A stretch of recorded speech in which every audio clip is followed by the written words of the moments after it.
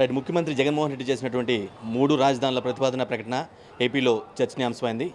ఇటువంటి సమయంలో ప్రజా ప్రజాభిప్రాయ సేకరణతో పాటుగా మేధావులు సీనియర్ జర్నలిస్టుల విశ్లేషణ చాలా అవసరమైందని చెప్పుకోవచ్చు ఇటువంటి పరిస్థితుల్లో. ఈ ఇటువంటి కీలక అంశంపై మాట్లాడేందుకు మనతో పాటుగా సీనియర్ జర్నలిస్ట్ సాయి గారు ఉన్నారు. సాయి గారు సాయి గారు చెప్పండి ఈ మూడు రాజధానుల ప్రతిపాదన ప్రకటన ఏ విధంగా చూస్తారు? ఈ ప్రకటనతో అంటే ఇది ఒక ఒకవేళ కార్యరూపం దాల్చినట్లయితే రాష్ట్ర అభివృద్ధి సాధ్యపడుతుందంటారా? ప్రభుత్వం నేను సరైందంటారా? అభివృద్ధి అనేటువంటిది ప్రభుత్వం చేసి చూపెట్టే దాని మీద ఆధారపడి ఉంటుంది. మూడు రాజధానులతోనే అభివృద్ధి జరుగుద్ది అంటే ఒక రాజధాని ఉన్న హైదరాబాద్ అభివృద్ధి చెందింది ఒక రాజధాని ఉన్న బెంగళూరు అభివృద్ధి చెందింది కర్ణాటక అభివృద్ధి చెందింది. దేశంలో ఉన్నటువంటి అన్ని రాష్ట్రాలకు కూడా ఒకటే రాజధాని ఉంటుంది. ఇప్పుడు కూడా పేరుకు మాత్రం మూడు రాజధానులు. అదేంటంటే సెంటిమెంట్ని క్లియర్ ప్రాబ్లం క్రియేట్ కాకుండా ఉండటానికి. ఏది అమరావతి నుండి రాజధాని తరలిపోతుంది అక్కడ. రాజధాని ఏమి కొత్త మూడు మూడు అనేది కాదు. హైకోర్టు ఉన్నదాన్ని రాజధాని అనేది ఏమి ఉండదు. భారతదేశంలో దాదాపు పది చోట్ల వేరే చోట్ల హైకోర్టులు ఉన్నాయి. అవన్నీ జ్యుడిషియల్ క్యాపిటల్ అని ఎవరు అనరు. అక్కడ ఇంకో హైకోర్టు ఉందంటారు. ఆ విధంగా అది ఊరకనే ఆ ప్రాంతానికి జ్యుడిషియల్ క్యాపిటల్ ఇచ్చామనేటువంటి ఒక పదం. అట్లాగే లెజిస్లేచర్ ఉన్నటువంటి దాన్ని క్యాపిటల్ అనరు. అంటే అసెంబ్లీ ఉన్నటువంటి దాన్ని. ఎందుకంటే రెండు దేశంలో ఉన్నటువంటి రెండు రాష్ట్రాల్లో వేరే క్యాపిటల్ కూడా వేరే చోట కూడా అసెంబ్లీ నడుస్తుంటాయి. కర్ణాటకలో కానీ తర్వాత మహారాష్ట్రలో కానీ వేరే చోట. ఇవి జమ్మూ కాశ్మీర్లో కూడా అసెంబ్లీ రెండు చోట్ల నడుస్తుంటాయి అందుకని రెండు చోట్లని రాజధానులు రాజధాని అంటే ఏంటంటే ముఖ్యమంత్రి ప్రభుత్వ కార్యకలాపాలు సెక్రటేరియట్ ఇవన్నీ ఏది నడుస్తుందో దాని రాజధాని అంటారు. మూడు రాజధానులు అనేది నామకే వాస్తే. ఒరిజినల్ రాజధాని విశాఖపట్నం కిందకి తీసుకుపోతున్నారన్నదే ఇక్కడ కీలకం. అమరావతి నుండి రాజధాని తరలి వెళ్తోంది. ఒకచోటే రాజధాని ఉంటుంది. అభివృద్ధి అనేటువంటిది అక్కడ జరుగుద్దా లేదా అనేటువంటిది ప్రభుత్వం చేసే దాని మీద ఆధారపడి ఉంటుంది. ఆల్రెడీ డెవలప్ అయినటువంటి సిటీ. ఇక్కడ రాజధాని అంటే అది సెటిల్ అవ్వడం కాదు. వాస్తవంగా మిగతా ప్రాంతపు వాళ్ళకి రాజధానితో ఏం సంబంధం లే. ఇప్పుడు సాధారణ పబ్లిక్ రాజధానితో ఏంటి సంబంధం? కానీ డెవలప్మెంట్ రాజధాని చుట్టూతో డెవలప్మెంట్ అనేది మాత్రం అక్కడే సెక్రటేరియట్ అయి ఉన్న చోట జరిగింది. హైదరాబాద్ అయినా బెంగళూరు అయినా లేకపోతే ముంబై అయినా ఇట్లాంటి చోట్ల. కాబట్టి ఇప్పుడు రా అయితే అదే సందర్భంలో రాజధాని విడిగా ఉన్నటువంటి చోట్ల అభివృద్ధి జరగలే కొన్ని కొన్ని ఏరియాలు. ఉదాహరణకి గాంధీనగర్. అహ్మదాబాద్లో ఉన్నప్పుడు బాగానే డెవలప్ గాంధీనగర్ వచ్చేటప్పటికి ఐసోలేటెడ్ అయింది అట్లాగే ఛత్తీస్గఢ్ రాయ్పూర్ ఐసోలేట్ అయిపోయింది విడిగా ఉన్నటువంటి. ఇక్కడ వచ్చేటప్పటికి ఆల్రెడీ వెల్ సెటిల్డ్ సిటీలోకి తీసుకెళ్తామంటున్నారు. ఈ ఇక్కడ ఈయన తీసుకొచ్చినటువంటిది అమరావతి అనేటువంటిది ఏరియా సెంటర్ ఏరియా. దాన్ని నగరంగా కనుక ఉండుంటే దాంతో యాడ్ చేసేసుకుని ఉంటే ఇష్యూ ఉండేదిగా ఇప్పుడు ఐసోలేటెడ్గా విడిగా ఉండటం వల్ల అక్కడ డెవలప్మెంట్ కొంత టైం పడుతుంది. ఇమ్మీడియట్గా అయితే జరగదు. ఐదేళ్ళలో జరగదు. ఇంకో పది పదిహేను ఏళ్ళు పడుతుంది. ఇప్పుడు ఇది ఆల్రెడీ వెల్ సెటిల్డ్ సిటీ కాబట్టి తొందరగా ఎక్స్పాన్షన్కి అవకాశం ఉంటుంది. ఇక్కడ ఉండాలి అక్కడ ఉండాలనేది లెక్క ఇక్కడ. సో రాజధాని అమరావతిలో కంటే కూడా వైజాగ్లోనే బెటర్ అనే ఒపీనియన్ ఉందంటారా? లేదు లేదు. అంటే పబ్లిక్ ఆ ప్రాంత పబ్లిక్ అదే బెటర్ అంటారు. ఈవెన్ మిగతా ప్రాంతాల పబ్లిక్ కూడా అదే బెటర్ అంటారు. ఇది ఇక్కడతో కంపేర్ చేస్తే. ఎందుకంటే ఐదేళ్ళలో జరగలే. ఓన్లీ నాలుగైదు భవనాలు మాత్రమే ఇంకో నాలుగు భవనాలు అండర్లో ఉన్నాయి తప్పించి. కాబట్టి ఇక్కడికంటే అక్కడ బెటర్ అంటారు. కానీ అదే సందర్భంలో ఆ ప్రాంత పబ్లిక్ ఏమని ఫీల్ అవుతారు? ఉన్న రాజధాని నోట్లో పెట్టిన ముద్దలు ఆక్కుపోయారనే ఫీలింగే ఉంటుంది. ఆల్రెడీ కన్స్ట్రక్షన్ చేసేసి ఉంటే బాగుండేది కదా అనేది. ఇక్కడ లక్ష కోట్ల రూపాయలతో చేయాలనేటువంటిది వీళ్ళు. లక్ష కోట్ల డబ్బులు ఎక్కడ ఉన్నాయి అవన్నీ ఏడాదికి ఐదు వేల కోట్లు అయితే ఎన్నేళ్ళు పడుతుంది అనేది ఇక్కడ వేగంగా చేయాలంటేనేమో ఉన్న రాజధాని ఉన్న ప్లేస్ని డెవలప్ చేసుకోవడం. నిదానంగా అయినా మనం ఫ్యూచర్ని దృష్టిలో పెట్టుకుని చేయడం అంటే విజన్ అయితే ఫ్యూచర్ని దృష్టిలో పెట్టుకునే చేయాలి. ఇక్కడ ఫ్యూచర్ని దృష్టిలో పెట్టుకుని చేసేది కూడా ఈ ప్రాంతానికి డెవలప్మెంట్ ఎక్కువ ఉండాలనేటువంటి ఉంటుంది అనేటువంటి కోణం ఇప్పుడు వీళ్ళు చెప్పేటువంటిది. అంటే వైజాగ్ ఎగ్జిక్యూటివ్ క్యాపిటల్ అంటే జనరల్గా పరిపాలన ఎక్కువగా అక్కడి నుంచి జరిగే అవకాశం కనిపిస్తుంది. ఎగ్జిక్యూటివ్ క్యాపిటల్ అంటే అంటే మంత్రులు కానీ ఎమ్మెల్యేలు కానీ ఉన్నతాధికారులు కానీ ఎక్కువగా అక్కడ బేస్ ఉండే అవకాశం కనిపిస్తుంది. కానీ వాళ్ళు షఫల్ అయ్యేటువంటి అవకాశం అంటే ఇప్పుడు అమరావతి విజయవాడకు వచ్చేటువంటి పరిస్థితి ఉంటుంది. ఒకవేళ కోర్టు పనికి సంబంధించినట్లయితే కర్నూలు కూడా వెళ్ళాల్సి ఉంటుంది. సో ఇది ప్రాసెస్ అనేది బాగా ఖర్చుతో కూడుకున్న పని కదా. అక్కడ ఇన్వెస్ట్మెంట్ అంటే అక్కడ కొత్తగా నిర్మించాలన్న భవనాలు కానీ ఏదైనా చేయాలన్నా కూడా ఇన్ఫ్రాస్ట్రక్చర్ క్రియేట్ చేయాలంటే పెద్దగా ఖర్చుతో కూడుకున్న పని. ఇటువంటి సమయంలో లోటు బడ్జెట్ ఉన్న సమయంలో ఆ నిర్ణయం కరెక్ట్ అని అంటారా? అమరావతి బెటర్ అనే వాదన కూడా బలంగా వినిపిస్తున్నాయి. ఇక్కడ బేసిక్గా ఎగ్జిక్యూటివ్ క్యాపిటల్ కాదు అసలు క్యాపిటలే అక్కడికి వెళ్ళినట్టు. ఇంకా అదంతా ఊరికి నేను నామకే వేస్తే. రెండోది ఖర్చు. రెగ్యులర్గా కూడా మంత్రులు పర్యటిస్తుంటారు. డబ్బులు తక్కువ ఉన్నాయని ఎవరు ఇళ్ళలో కూర్చోరు. సీఎం ఏమైనా మానేశారా? హెలికాప్టర్లు వేసుకు తిరగట్లేదు ప్రత్యేక విమానాలు వేసుకు తిరగట్లేదు. అవి జరిగిపోతూనే ఉంటుంటాయి. అది రొటీన్ యాక్టివిటీ అసెంబ్లీ సమావేశాల సందర్భంలో ఖర్చు ఎక్కువ ఉంటుంది. అయితే ఇక్కడ లక్షా తొమ్మిది వేలు ఇప్పుడు అవసరం. మూడు నాలుగేళ్ళ కలిపితే ఓ మూడు నాలుగు లక్షల కోట్ల రూపాయలు ఉంటే కానీ ఇక్కడ కనీసం రెండు లక్షల కోట్లు ఉంటే కానీ ఇది డెవలప్ కాదు. ఈ రెండు లక్షల కోట్ల రూపాయలతో కంపేర్ చేస్తే అక్కడ తక్కువ బెటరే కదా. ఈజీగానే ఉంటుంది కదా. వాళ్ళ యాంగిల్ అట్టు ఉంటుంది. అంటే అక్కడైతే ఏముంటుంది? ఈ దారి ఖర్చులు ఒకటే ఉంటాయి. ఇది సాదర ఖర్చుల్లో వెళ్ళిపోతుంది వ్యయమే అది. అదనపు వ్యయమే. కానీ ఇక్కడ మెయింటెనెన్స్ ఇక్కడ ఎంత జరుగుతోంది? ఇప్పుడు దాదాపు మూడు వేల కోట్లు అద్దెలకు ఇస్తున్నారని చెప్పేది లెక్క చెప్తున్నారు ఈ మూడు వేల కోట్లు అక్కడైతే గవర్నమెంట్ బిల్డింగ్స్ అవుతుంటాయిగా. కట్టేసుకోవచ్చు కదా. అయితే ఇక్కడ మిస్ అయిపోయేది ఏంటి? ఆల్రెడీ కన్స్ట్రక్ట్ అయినటువంటి బిల్డింగ్లు ఇప్పుడు వాడుకునే సందర్భంలో వెళ్ళిపోతున్నారు. కాబట్టి ఇక్కడ చేతిలో ఉన్న దాన్ని వదిలేస్తుంది. ఇది మైనస్ కాకపోతే ఇక్కడ ప్రభుత్వ కార్యాలయాలని గట్ల ఇప్పుడు కడుతున్నటువంటి quarters ministers quarters MLA quarters ఇట్లాంటి. అయ్యి వరకు వస్తాయి. ఇప్పుడు అవన్నీ మళ్ళీ అక్కడ కట్టాలంటే అదనపు అయితే అసెంబ్లీ జరిగేటప్పుడు ఇక్కడ కూడా వాడుకోవడానికి వీలు ఉంటుంది కాబట్టి ఇక్కడైనా అసెంబ్లీ అంటే సెక్రటేరియట్ ఉన్న ఏరియాలో క్వార్టర్స్ ఇయ్యరు ఎమ్మెల్యేలకి క్వార్టర్స్ ఇచ్చేది అసెంబ్లీ ఉన్న ఏరియాలో ఇస్తారు. కాబట్టి క్వార్టర్స్ ఇక్కడే ఇస్తారు. మంత్రులకు మాత్రం సెక్రటేరియట్ ఉండేటువంటి ఏరియాలో ఇవ్వాలి. వాళ్ళకి ఇప్పుడు హైదరాబాద్ విజయవాడలో ఇచ్చేటువంటివన్నీ కూడా ప్రైవేట్ ఇంకా కొత్త ఏమి గంట అవ్వలేదు. అవి ఇప్పుడు అక్కడ కొత్తగా కట్టాల్సి వస్తుంది లేదా అద్దెలకు ఇచ్చుకోవాల్సి వస్తుంది. కొత్తగా నిర్మాణం అంటే చాలా ఖర్చుతో కూడుకుని పనే కదా సార్. వాళ్ళ లోటు బడ్జెట్లో ఉన్నది కాక గవర్నమెంట్ అనేది. ఇటువంటి సమయంలో కొత్తగా నిర్మించాలన్నా లీజుకి తీసుకోవాలన్నా కూడా వైజాగ్ లాంటి సిటీ అంటే చాలా పెద్ద బాగా- రెంట్లు కానీ బాగా ఎక్కువగా ఉంటాయి. ఇది అదన భారమే కదా. అంటే ఇక్కడ కాస్ట్ పరంగా చూస్తే ఇక్కడతో పోల్చుకుంటే అక్కడ తక్కువ. అయితే ఇక్కడ ఏం కా ఏం తక్కువ అంటే ఇక్కడ ఇవన్నీ రోడ్డు వేయాలి కాలువ కట్టాలి డ్రైనేజీలు కట్టాలి ఇవన్నీ లక్షల వేల కోట్ల రూపాయలతో వ్యవహారం. అక్కడ పదిహేను వందలు రెండు వేల కోట్ల రూపాయలు కడితే పని అయిపోతుంది. ఎందుకు అంటే సెక్రటేరియట్ కట్టాల్సిందేంటి సెక్రటేరియట్స్ టు మినిస్టర్స్ క్వార్టర్స్. అంతే. మిగతా ఏం కట్టక్కర్లా. ప్రభుత్వ కార్యాలయాలు. అవన్నీ రెండు మూడు బిల్డింగులు. మొత్తం కలిపితే ఒక రెండు వేల కోట్లు అనుకుందాం. సెక్రటేరియట్ అంటేనే ప్రభుత్వ కార్యాలయాలని. ఇంకేం కట్టాలా? సెక్రటేరియట్కి ఐదు వందల కోట్లు అయింది ఇక్కడ. అక్కడ ఒక ఐదు వందల కోట్లు అవుతుంది అనుకుందాం. తర్వాత ఇంకోటి ఈ మినిస్టర్స్ క్వార్టర్స్ అదొక ఐదు వందల కోట్లు. లేదు ఇప్పుడు జుడిషియరీ అంటే హైకోర్టు కర్నూలులో ఉంటే అక్కడ ఒక జడ్జిల క్వార్టర్స్ హైకోర్టు అక్కడ ఒక వెయ్యి కోట్లు. అదొక వెయ్యి ఇదొక వెయ్యి రెండు వేల కోట్లు. ఇక్కడ ఎన్ని లక్షలు ఎన్ని వేల కోట్లు కట్టాలి? ఇది తేడా. రెండు వేల కోట్లతో పని అవ్వాలనా లేకపోతే లక్ష కోట్ల రూపాయలతో పని అవ్వాలి ఇక్కడ లక్ష కోట్లతో అభివృద్ధి చేస్తే అద్భుతమే. లక్ష కోట్ల రూపాయలు ఉన్నాయా? కేంద్రం ఇస్తుందా లక్ష కోట్లు? ఇవ్వదు. పోనీ మనం తీసుకురాగలమా? అప్పులు తెస్తే ఎవరు కట్టాలి అది? ప్రజలే కట్టాలి. లక్ష కోట్ల రెండు వేల కోట్ల అన్నటువంటి దాంట్లో ఏది దువారా అవుతుంది? రైట్ ఇక్కడ ఒక ఇంట్రెస్టింగ్ ఆస్పెక్ట్ ఏంటంటే సార్ ఇప్పుడు ఇటువంటి గవర్నమెంట్ రాష్ట్ర ప్రభుత్వం ఇస్తున్నటువంటి ఈ మూడు రాజధానుల ప్రతిపాదన నేపథ్యంలో కేంద్రం అసలు సహకరించే పరిస్థితి ఉంటుందంటారా? అడిగినటువంటి నిధులు ఇచ్చే ఇప్పటికే రావాల్సిన రాష్ట్రానికి రావాల్సిన నిధులు రాలే రాలేని పరిస్థితి. ఇటువంటి పరిస్థితుల్లో కేంద్రం సహకరించే పరిస్థితి ఉందంటారా? ప్రభుత్వానికి రా- రాష్ట్ర ప్రభుత్వానికి రావాల్సిన నిధులు రాకుండా ప్రభుత్వం అయితే నడవదు. అవన్నీ మనకి భావోద్వేగాలు సృష్టించడమే. రెగ్యులర్గా వచ్చే డబ్బులు వస్తూనే ఉన్నాయి. ఇప్పుడు రాష్ట్ర ప్రభుత్వానికి ఆదాయం ఎంత ఉంది? యాభై ఆరు వేల కోట్లు ఉంది. మరి మిగతా డబ్బులన్నీ ఎక్కడి నుంచి వస్తున్నాయి? అవి జీతాలకే సరిపోతున్నాయి.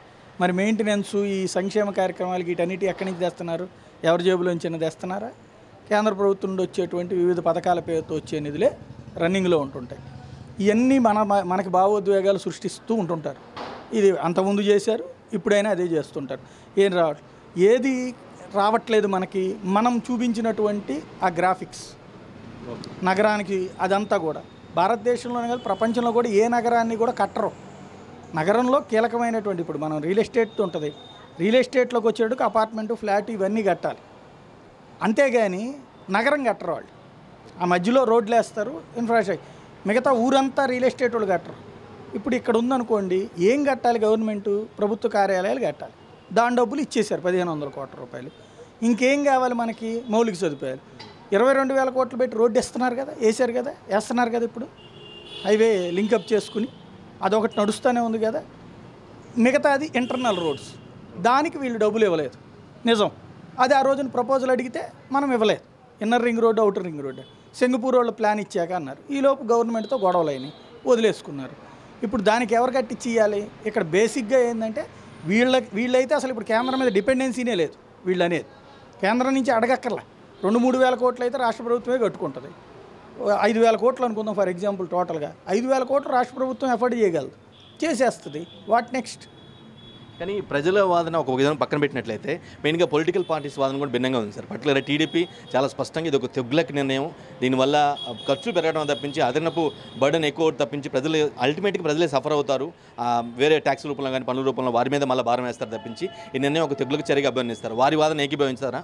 అంటే ఏ విధంగా చూడాల్సింది అంటారు అంటే రెడ్ వచ్చి మొదలెట్టని ఒక్కొక్కళ్ళు వచ్చినప్పుడల్లా ఓహో చోటికి రాజధానిని తరలించుకోవడం అనేది కరెక్ట్ కాదు. ఇప్పుడు తరలించడం అనేటువంటిది. వీళ్ళు ఆ తరలింపు అనే పదం వాడకుండా చేస్తున్నారు. తరలింపు అనే పదం వాడకుండా మూడు రాజధానులు వంక చెప్తున్నారు. బేసిక్గా వాళ్ళేమో రాజధానిని పూర్తి చేయలే. ఎవరికైనా ఐదేళ్ళు టర్మ్ ఇస్తారు. ఐదేళ్ళలో ఏం చేసామన్నదే లెక్క. ఈ ఐదేళ్ళలో చేసిన దానికి ఫర్దర్ నెక్స్ట్ మళ్ళీ ఛాయిస్ ఇస్తారు. ఐదేళ్ళలో నీకు ఇచ్చినటువంటి ముప్పై మూడు వేల ఎకరాలు నెక్స్ట్ వచ్చే ప్రభుత్వం కడతదని ఇచ్చారా? లేదు. కనీసం అమరావతి కార్పొరేషన్ అనౌన్స్ చేశామా? లేదు. ఇవాళ అమరావతి ఎక్కడుంది ఒక పంచాయతీగా ఉంది. కేవలం పేపర్ల మీద మాత్రమే ఉంది. రిజిస్టర్ చేసామా చేసుంటే కనుక అండేది కదా. ఇదేం జరగలేదు. సేమ్ టైం ఏంటి? ఇప్పుడు ఆటోమేటిక్గా అలా అన్నది చర్య ఇంతకుముందు తొగలక్కే రెండుసార్లు రాజధానులు మార్చుకున్నటువంటి పరిస్థితి. ఈయన ఒక రాజధాని మారుస్తున్నాడు. మళ్ళీ ఇంకో చోటకి మళ్ళీ వీళ్ళు తీసుకొస్తే తొగ్లక్ చర్యలే అవుతుండే ఒక్కొక్కరు ఒక్కో చోటకి మార్చుకుంటే. బేసిక్గా ఇక్కడ ఏంటంటే ఇన్ఫ్రాస్ట్రక్చర్ ఇవాళ ఒక ప్రాంతానికి ఆశ చూపించారు అమరావతికి. విజయవాడ గుంటూరు కోస్తా వాసులకు ఆశ చూపించారు.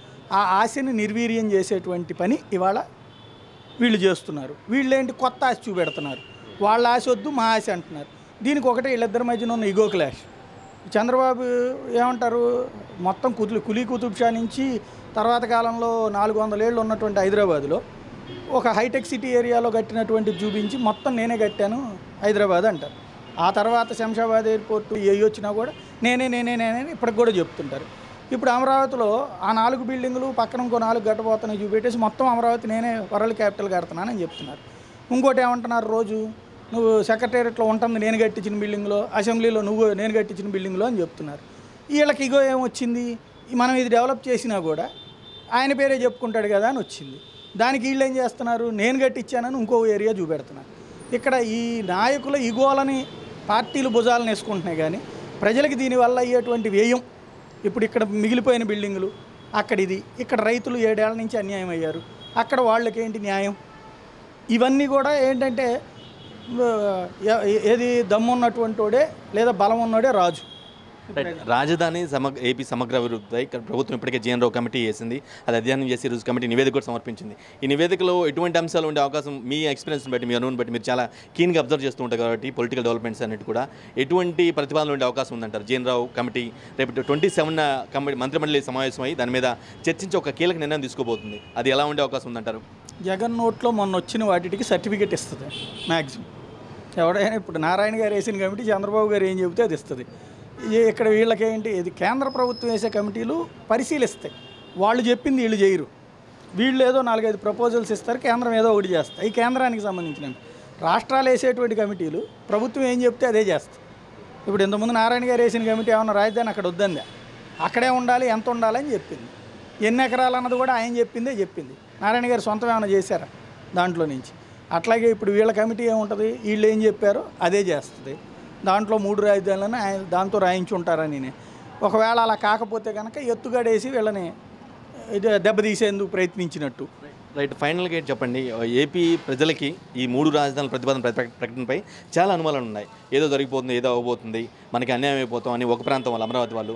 కర్నూలు వాళ్ళేమో తమకి హైకోర్టు పెడితే బాగుంటుందని వైజాగ్ వాళ్ళేమో అక్కడ ఉంటే పర్లేదు ఉత్తరాంధ్ర మొత్తం డెవలప్ అవుద్దని కొన్ని ఎవరికి వాళ్ళు అనుకుంటూ ఉన్నారు. యాజ్ ఎ సీనియర్ జర్నలిస్ట్గా ఈ ఎటువంటి పరిణామాలు జరిగే అవకాశం ఉందంటారు? ఏ పరిణామం ఉండదు. ఎలక్షన్లు అప్పుడే చూపెడతాం మనం. కోస్తా అందరిలో ఎఫెక్ట్ అయ్యేటువంటి పరిస్థితి ఉంటుంది వైసీపీకి. అదే సందర్భంలో అక్కడ వాళ్ళు ఆదరిస్తారనే చెప్పలేము ఎందుకంటే అమరావతి అని చెప్పి ఎక్కడైతే ఈ ముప్పై మూడు వేల ఎకరాలు తీసుకుని ఇది చేశారో అక్కడే ఓడిపోయింది తెలుగుదేశం. అదే సందర్భంలో కియా అని చెప్పిన చోటే ఓడిపోయింది తెలుగుదేశం. అంటే ఇక్కడ ప్రజలలోకి బయటికి చెప్పేటువంటిది ఒకటి ఉంటుంది ఇండెప్త్గా ఫీలింగ్ ఒకటి ఉంటుంది. ఆ ఫీలింగ్ ఏంటి అనేటువంటిది ఎవరు చెప్పలేరు. ఎలక్షన్ దాని మీదనే డిపెండ్ అయి ఉంటుందా అంటే చెప్పలేరు బేసిక్గా ఒకటే ఏంటంటే ప్రజలని సంతృప్తి పరచడం అనేది ముఖ్యం.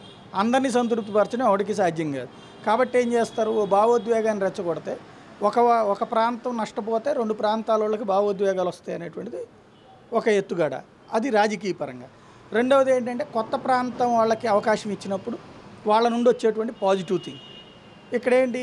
ఈ రెండు కొత్త ప్రాంతాల వాళ్ళకి అస్సలు మా బతుకులు ఇంతేనా? ఇక అభివృద్ధి అంతా అక్కడే కేంద్రీకృతం అవుద్ది అనేది ఇందులో ఒక వింత విచిత్రమైనటువంటి పరిస్థితి ఏంటంటే పరిశ్రమలు విశాఖలో ఉన్నాయి నెల్లూరులో ఉన్నాయి చిత్తూరులో ఉన్నాయి అనంతపురంలో ఉంది అన్ని చోట్ల పరిశ్రమలు ఉన్నాయి. ఏ పరిశ్రమలు లేనటువంటి ప్రాంతం కృష్ణా గుంటూరు జిల్లాలు ప్రకాశం కానీ వెస్ట్ గోదావరి కానీ వీటికి పరిశ్రమలు ఏమీ లేని ప్రాంతం. కానీ అది బాగా ధనవంతమైనటువంటిది అందరితో సంపాదించేసుకుంటున్నారు అనేటువంటి ఫీలింగ్ ఏమో ఈ రాజకీయ నాయకులు సృష్టిస్తారు. అక్కడ ఉన్నటువంటి ప్రజలు నాయకులు హీరోలు చేసుకున్నారు కానీ తమ మీద ఉన్నటువంటి ఆ ముద్రను జరుపుకోవాలి. ఇప్పుడు తెలంగాణ విడిపోయినప్పుడు ఇక్కడ వాళ్ళే సంపాదన పరులు అన్నారు. ఇప్పుడు ఇక్కడ వాళ్ళే సంపాదన పరులు అన్నారు. మరి సంపాదన యాడ్ నుంచి వచ్చింది అక్కడ ఏ వ్యాపారం లేకుండా? అంటే ఎక్కడో బతికాడు సంపాదించుకుంటే వీడి మీద పడేడిచి మిగతా ప్రాంతాలను వాళ్ళని రెచ్చగొట్టడానికి వీళ్ళని చూపించేటువంటి పరిస్థితి అది ఉంది. Thank you so much sir ఏదేమైనా సరే మూడు రాజధానుల ప్రతిబంధ ప్రకటన ప్రభుత్వం ఏ ఉద్దేశంతో ప్రకటనతో తెలియదు కానీ బట్ ఆ డెవలప్ అయితే డెవలప్మెంట్ కొన్ని ప్రాంతానికి ఒక ప్రాంతానికి పరిమితం అవుద్ది అనే వాదనలు అయితే సరికాదు డెవలప్మెంట్ జరిగే చేయాలనే ఉద్దేశంతోనే కొన్ని ఈగోలు కూడా ఈ మధ్యలో క్లాష్ అవ్వటం వల్ల ఇటువంటి నిర్ణయానికి వచ్చారు. డెవలప్మెంట్ అయితే ఆగే పరిస్థితి అయితే ఉండదు కానీ గవర్నమెంట్ ఒక నిర్ణయం మంచి నిర్ణయంతోనే తీసుకుందేమో అన్న సందేహాలు అయితే వ్యక్తమవుతూ ఉన్నాయి. కెమెరా పర్సన్ సురేష్తో వెంకటేష్ పీడీటీవీ. మీరెక్కడున్నా ఏం చేస్తున్నా ప్రపంచంలో ఏం జరుగుతుందనేది ఇప్పుడు మీకు పెట్లోకి తెచ్చేసింది one line app. Political movies రాశి ఫలాలు ఆరోగ్య సలహాలు సీరియల్స్ విశేషాలు. ఇలా ఒకటేమిటి? బోలెడన్ని విశేషాలను మినిట్ టు మినిట్ మీకు అందిస్తుంది one line app. So late ఎందుకు? డిస్క్రిప్షన్లో ఉన్న లింక్ ద్వారా వన్ లైన్ యాప్ డౌన్లోడ్ చేసుకోండి. One line it's for every